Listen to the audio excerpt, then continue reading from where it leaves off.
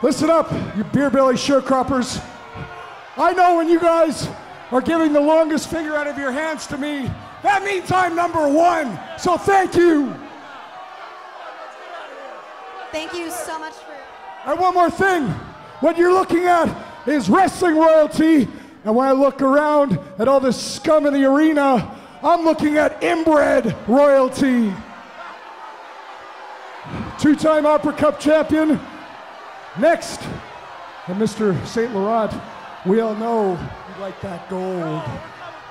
And what you're looking at is the future MLW World Heavyweight Le Champion.